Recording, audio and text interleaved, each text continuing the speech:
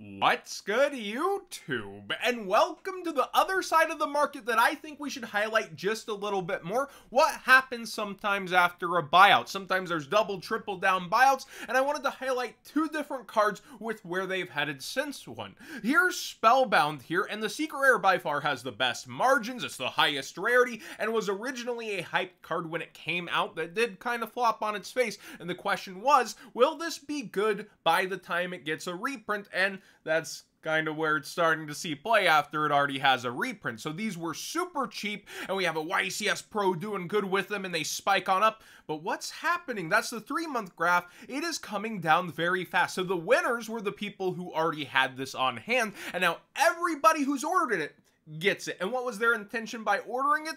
Probably to sell it, overplay it, and they all start competing with each other very quickly. And now you see all the way down towards $6 at a playset, and a lot in the $7 range before it's towards 8 barely on the front page when it was selling for 10 to 11 on the buyout. You can even see some recent sales did manage to hit 10. Maybe they know that seller, they're comfortable with them, but a lot of these are going in that lower and lower range, despite it still being just as viable. People are a little more prepared. And then the ultra rare is still up. So they're both still up versus where the buyout happened in the hype. People are still making money to a degree and being from a most recent megaton where people don't necessarily want to rip open the Megaton actually gives us a little bit more versus the quantities that usually would be there for a Megaton card. So there's only two printings on this card, which that does help it even if it is a recent printing. I feel like with cards like this, you do have to assess, though, how much of it is hype and how much will actually be played versus what was bought just to resell.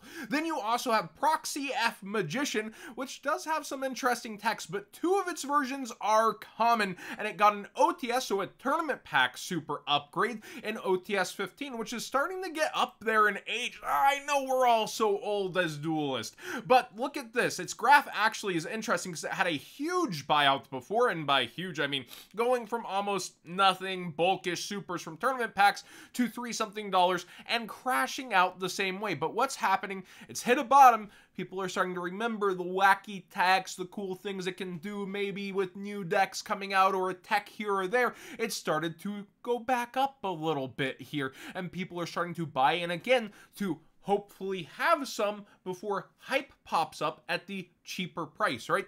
Let's read this. During your main phase, you can fusion summon one fusion monster from your extra deck using monsters from your field as a fusion material. So everything has to be summoned there. It's still a bit specific in terms of getting your fusion summon off. If a fusion summon monster or monsters is fusion summoned to a zone or zones this card points to, you can special summon a monster with a thousand or less attack from your hand. You can only use each effect of Proxy F Magician once per turn. This is very generic for a Cyberse monster. It takes any two effect monsters, and it doesn't Cyberse lock you, and it's, it's an extender, which is very, very rare for a Cyberse monster like this to do all this, and that's probably because it's dipping into the other fusion mechanic rather than just linking you up all turn.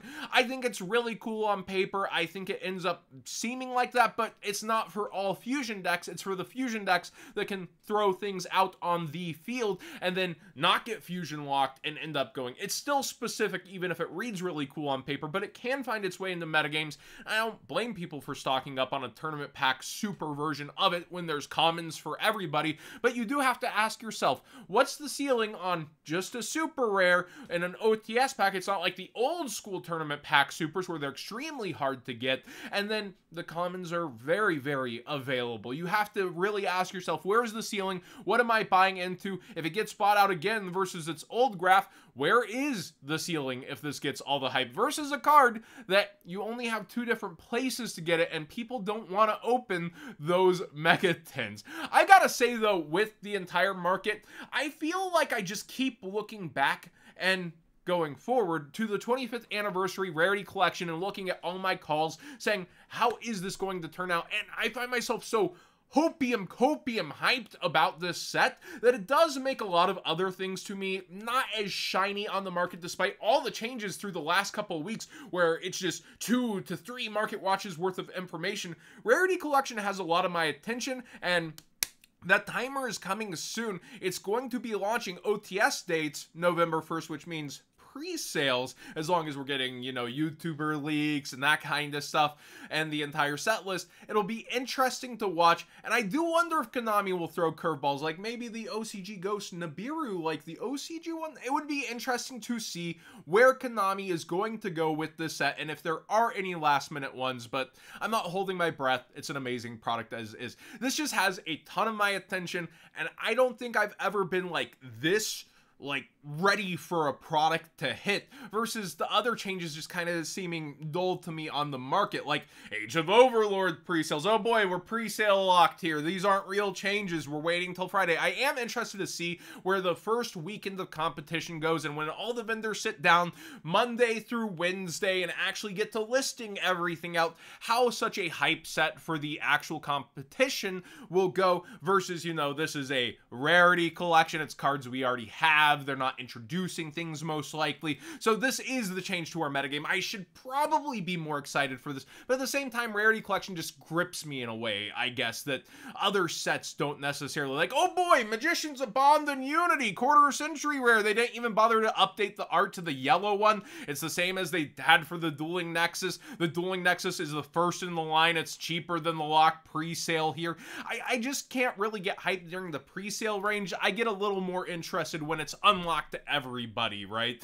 And then we go through here and there's changes. Oh, another buyout for the Red Dragon Archfiend stuff. What a surprise. Tyrant Red Dragon Archfiend gets targeted now. Only two printings. Ooh, only two printings. Dark Illusion and a Duelist pack, and both are in ultra rare. And I believe it's like kind of limited in what this actually does. People are saying it's another thing you can go into besides Dispater, but I think Dispater's really good. Must be Synchro Summon, cannot be Special Summoned by other ways. You can only use each of these effects once per turn. During your main phase one, you can destroy all other cards on the field. Also, for the rest of the turn, other monsters you control can't attack, so you're limited to 3,500 damage unless you're cheesing this up somehow.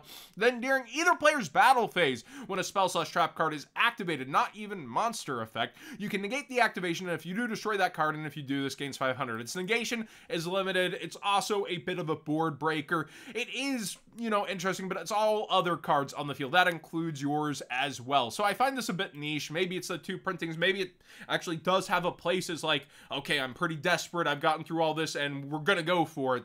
Like, I do see that it could have a place in the extra deck. Let me know your thoughts on this specific card if you're finding yourself playing it.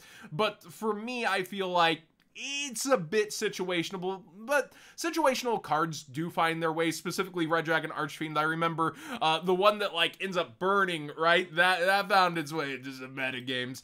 TG Gear Zombie, because TG's got more support here. You can target one TG monster you control, special summon this card from your hand, then the targeted monster loses a thousand attack. You can use this once per turn. An extender, it's a tuner, it's a level one, it's a dark, it's all good things for TG. It's going up. Lifeless Leaf Fish actually was bought out to a much higher proportion where it looked ridiculous. I think the lowest was seven. And you can see here, that's where it was. And you have listers coming in and undercutting here for its ultra rare version, my bad. And then it has a common version as well that didn't really knee jerk react to much anything. So you had an available version, and that's what will hold back the high rarity is all the fish good stuff got announced in the OCG. And that's a lot of today's Market Watch. OCG, oh my gosh, there's Ritual Beast coming in the Hidden Arsenal thing. Look, there's art. You know, one of those buyouts that reacts to art happening. We don't even know the cards yet, but most of the cards have been good so far. They assume they'll keep the ball rolling. So yeah, Ritual Beast, Gaia, Pelio, Ultimate Rare got bought out, Ultra Rares on low quantities. If I did have a suggestion, I suppose the Secret Rare versions of the Ritual Beast Tamers would be kind of good to have on hand. They're not you know, going to go away from the deck's gameplay, most likely, depending on the cards that are brought in. And it would probably be good to have the secret rares on hand. And uh, if it is really good, these will probably spike pretty well, but people went for the highest rarity thing first, right? But I, I do think this wouldn't be a bad penny stock to have using that TCG player link in the description down below, costing you nothing extra. Support the channel directly for the cards you'd already be buying. We also have Genex stuff. You know, the Genex cards got revealed this last week too. There were a lot of memes to the art slash a lot of feels with them, and feels equal dollar. Sometimes Genex Axel only out of Starstrike Blast getting bought out for its secret rare. We have Gen X controller. This buyout has happened so many times in history, and you can see the lowest are 15 and quickly up from there. Undying DT is up as well. People going pretty ham on the Genex cards on the market. Uh, in Edison format, core transport unit, so I, maybe other Koa'ki Meiru stuff's going crazy. Apparently a little Edison reaction here. It has gone on insane sicko buyout mode here, and there's only one seller left. Goblin Zombie, I know Gage has been on this in Edison. The DT has spiked absolutely mad lad insane, so be aware of that. There is a tournament pack ultra rare, which is one of the higher rarities in speed duels, and if you like speed duel foiling, it's also looking not the most expensive in the world for one of those, and this is their newest tournament pack. But again, I think DT and Secret Rare actually probably look cooler, but I do love speed duel technology on the cards and the feel of them. Mist Wurm has really stonked up. I'm guessing this is for Edison. Let me know in the comment section down below if it's something modern, but I just couldn't necessarily see that being the case. It is pretty good at clearing fields to a degree, but it's only got its four printings overall. Hidden Arsenal Chapter 1, people aren't really begging to open it, but it is still your cheapest option at this point, with the others going absolutely wild. So you might want to get that one sooner than later as well. And finally, in the Megatons, there's some shifting, with the Bystials starting to rise even harder here, as the estimated value pull drains from some cards and goes up for others, like the collectible that is Blue Eyes Jet Dragon. A lot of people were waiting for a reprint on this, and you gotta remember, Master Duelists have come in during this era. This is their introduction to Blue Eyes cards, and getting this cheaper was really valuable to them, so I could see that continuing to actually go up. It's a very nice looking version of the card, along with the Bystials. Kind of funny that it's a top 5 card in the tins, considering everything in the tins. I've seen things like, you know, the TCG Player article talking about their top 10 sellers, and the Therion stuff being in there like Regulus, and the Field Spell, I believe, also for the Plant version. It's all just so cheap, so if you do want to go and penny stunk diving, the Megatins are a super great place to do so right now. And it's not like they're actually going up in price, they're going even down further with a ton of people waiting to touch the sealed on Black Friday sales. But it's interesting how the inside of the set is continuing to perform better and better, but the price of the sealed is continuing to go down and down from underperforming, despite the pro, pro, pro, promo singular doing heavy lifting here with multiple of them above $5, even if you're only getting one and it's not a guarantee per 10. This is pretty strong actually for promos, even RNG promos. But yeah, there are more duds than winners, and a lot of other ones continue to go down, like Exodia was three. It's going down further. I still think these will maybe age well. There's just not the most of them listed, and people don't want to bust the tens open necessarily still at the value they're at. But the singles because of that are in an interesting place where it's going to create an equilibrium eventually on okay we're going to open for this right or that and it, it is an interesting place for the tens to be in where you continue to see some value go up uh, in other places here, but not the most cards above $5 either.